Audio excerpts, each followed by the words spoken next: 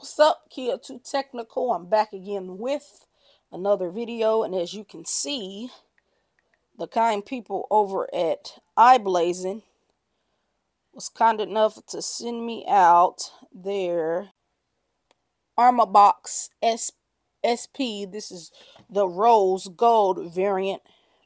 I believe this will go good with the desert titanium device if that's the color that you have.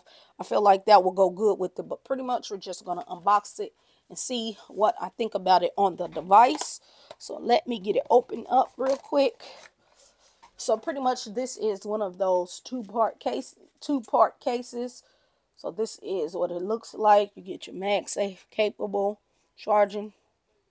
You get your camera cover that also doubles as a kickstand and with this case, you actually get a button cover, which is nice. We're going to test that out in a minute. So pretty much peel that off of there. Uh, open it here. This has a built-in plastic screen protector.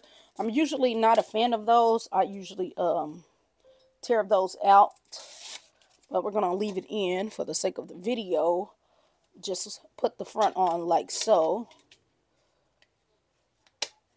Just like that, no problem. That's what the front looks like. Pick up the back. Put the back in like so. And with these kind of cases, you do not have to worry about your phone getting damaged or anything because these are, hold on, two-part cases. No problem. So this is what it's going to look like on your device. You do get your power button. Hold on, let's see here. Let's fix that. Okay. Do get your power button. I don't, it's nice and clicky, but I do not have this. Hold on. I don't have this lined up right, so bear with me. Okay, so there we go. Now I fixed it. So you do get your power button. Nice, clicky, no problem. Now let's test out that camera control button because it's actually covered.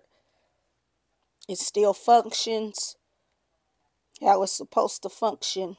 It's like little dots, but I actually like that because you do not have to worry about dust, dirt, and grime getting on that button and maybe messing it up because this is fully protected. Down here, you get feet, so if you drop your phone on the corner of the table, you should be good to go. You do get your speakers at the bottom, USB-C charging port with a dust uh, flap. You get access to a lanyard over here. Over here, you do get nice ridges for grip. You don't have to worry about this falling out of your hand. You get your alert slider. Nice and clicky, no problem volume up and down button. Nice clicky and tactile, no problem.